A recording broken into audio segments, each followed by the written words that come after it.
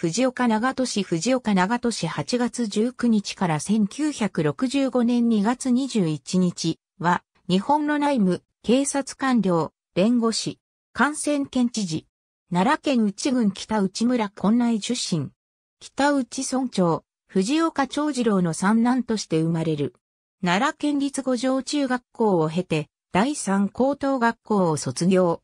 1920年、京都帝国大学法学部法律学科を卒業。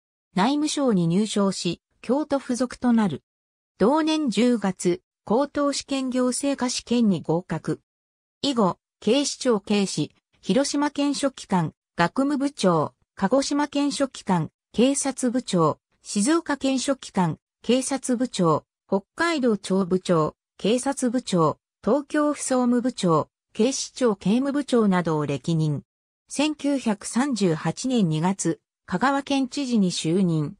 1939年7月の大干ばつに際して、県下の神社で雨乞い祈願祭を行う。また、1940年2月に実現した高松市第四次合併を推進。1940年4月、内務省計画局長に転じ、さらに同防空局長となる。1942年1月、静岡県知事に就任。戦時下の対応に尽力。1943年7月、東京都交通局長に転任。1945年1月、兵庫県知事に就任。同年4月に知事を辞任し退官した。その後、公職追放となった。